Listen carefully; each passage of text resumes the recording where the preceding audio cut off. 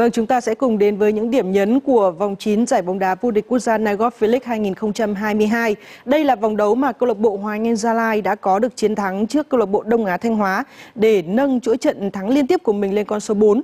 Và trong trận đấu này thì tấm băng đội trưởng của câu lạc bộ Hoàng Anh Gia Lai đã được trao sang tay của tiền vệ Nguyễn Tuấn Anh. Đây cũng là một trận đấu mà Tuấn Anh đã có những sự tỏa sáng để khẳng định vai trò mới của mình. Dù không ghi bàn hay kiến tạo, nhưng Tuấn Anh vẫn khiến tất cả phải ngả mũ thán phục bởi màn trình diễn điểm 10. Anh trở thành điểm sáng trong lối chơi của Hoàng Anh Gia Lai cả về tinh thần lẫn chuyên môn. Không chỉ đóng góp cho mặt trận tấn công, Tuấn Anh còn thường xuyên dâng cao để pressing hàng thủ đối phương cũng như lùi sâu để hỗ trợ phòng ngự.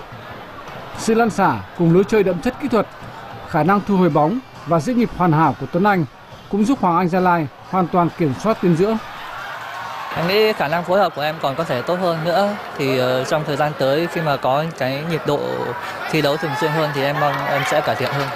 Em cố gắng uh, thi đấu uh, cho Hoàng Anh càng nhiều càng tốt và giữ được một cái thể trạng tốt nhất. Tuấn Anh đang lấy lại phong độ tốt nhất của cậu ấy. Tuấn Anh thực sự là người đã kết nối các đồng đội trên sân.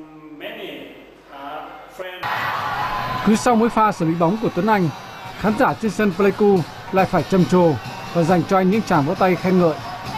Chắc chắn với phong độ này, Hoàng Anh Gia Lai sẽ hưởng lợi nhiều từ Tuấn Anh trong thời gian tới, nhất là khi đội chủ sân Pleiku đã thực sự trở lại để thách thức ngôi vô địch.